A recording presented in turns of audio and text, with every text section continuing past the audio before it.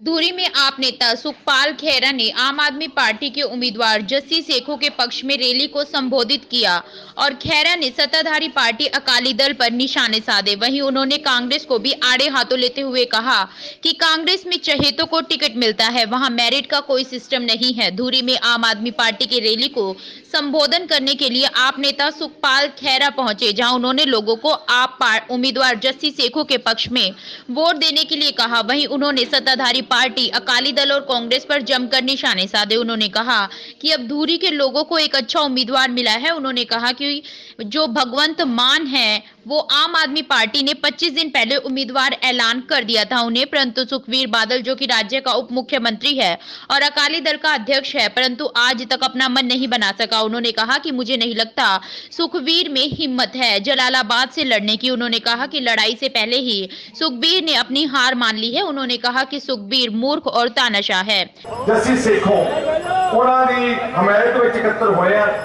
ਸਾਡੀ ਪਾਰਟੀ ਨੇ ਬਹੁਤ, ਇਹਨਾਂ ਨੇ ਪਾਰਟੀ ਦੇ ਵਿੱਚ ਬਹੁਤ ਯੋਗਦਾਨ ਪਾਇਆ। ਪਾਰਟੀ ਦੀ ਬਹੁਤ ਅਰਸੇ ਤੋਂ ਸੇਵਾ ਕੀਤੀ ਹੈ ਔਰ ਪਾਰਟੀ ਦੇ ਮੋਢਲੀ ਕਤਾਰ ਦੇ ਆਗੂਆਂ ਦੇ ਵਿੱਚੋਂ ਜੱਸੀ ਸੇਖੋਂ ਜੀ ਨੇ। ਇਸ ਲਈ ਸਾਡਾ ਸਾਰਿਆਂ ਦਾ ਫਰਜ਼ ਬਣਦਾ ਕਿ ਆਪਾਂ ਇਸ ਧੂਰੀ ਤੋਂ ਇਹਨਾਂ ਨੂੰ ਵਿਧਾਨ ਸਭਾ ਦੇ ਵਿੱਚ ਭੇਜੀਏ।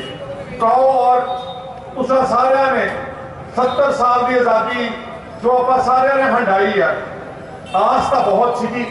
ਉਮੀਦ ਇਹ ਸੀਗੀ ਕਿ ਸਾਡੇ ਦੇਸ਼ ਦੇ ਆਗੂ ਸਾਡੇ ਦ- ਅਹ ਸੂਬੇ ਦੀਆਂ ਪਾਰਟੀਆਂ ਦੇ ਆਗੂ ਆਪਾਂ ਨੂੰ ਅੱਗੇ ਲੈ ਕੇ ਜਾਣਗੇ टीवी न्यूज के लिए संगरूर से हर्ष कौशल की रिपोर्ट